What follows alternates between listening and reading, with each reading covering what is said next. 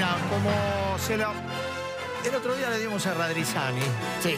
por algunas cosas que dijo y como yo soy un... Vos sos un Feligres. Un equilibrio. Feligres. Sí, sí. Feligres, mira, Sí. voy, voy a leer lo que dijo Monseñor Ojea.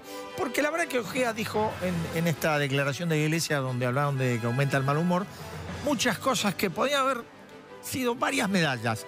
Pero elegí la de oro porque... Bien. ¿Te gustó? Bien. Bueno, Date pero dijo, a ver,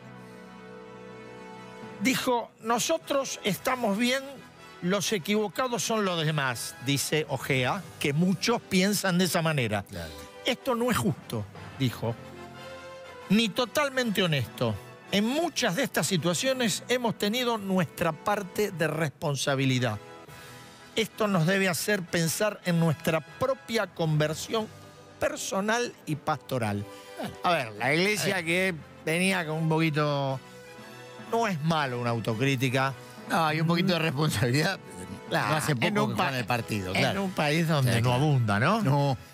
Monseñor, eh, el oro es para usted. Yo sé que usted lo va a donar, así que se lo mandamos tranquilamente. Tranquilo. tranquilo. Plasmo, por favor.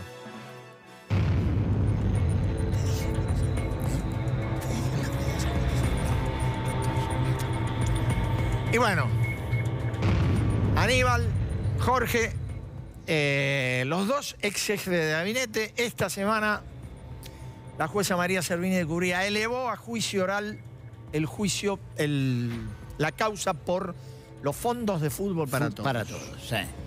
Hay otros eh, Aníbal implicados. dijo, Aníbal que espera que lo aplaudan. Sí, sí, Sí. sí, no sé quién. Sí. Los hinchas de Quilmes. Sí, sí. Pero, digo, hay otros involucrados, está Mariotto. Estos dos señores fueron jefes de gabinete. Hay un tercero Aval Medina. que zafó. Zafó. Zafó de. Sí, sí. Eh, a ver, cuando termine el juicio, si les va bien y son absueltos, nosotros retiramos la medalla. Por ahora le damos medalla de oro a Capitanich y a Aníbal Fernández. Música, por favor.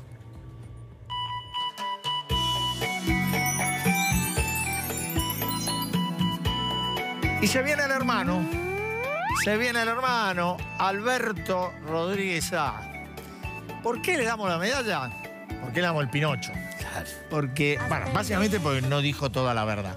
¿Y por qué no dijo toda la verdad? Porque hizo un discurso diciendo que él y su provincia, él la gobierna ahora, rechazan los 386 millones que Adolfo, su hermano, Sí. consiguió cuando los diputados de San Luis dieron el quórum en diputados para Presupuesto. aprobar el presupuesto. Sí. Se pelearon los dos hermanos en ese momento. pero están- pero hay un pero acting Adolfo dijo, ojo que son 380 millones. Hay un acting permanente. Ahora Alberto salió a decir esto. Todos sabemos que Alberto está jugando cerca de Cristina. Sí. Todos sabemos que Adolfo está jugando, no digo cerca, pero siendo funcional a veces al gobierno. Yo quiero ver. Vamos a esperar si Es esos el frío 386 caliente. millones. Policía bueno, policía malo. Alberto no dijo toda la verdad. Esto es Pinocho. Va para San Luis. Nosotros volvemos el jueves que viene. Gracias, ¿eh? Gracias, Chau. chau.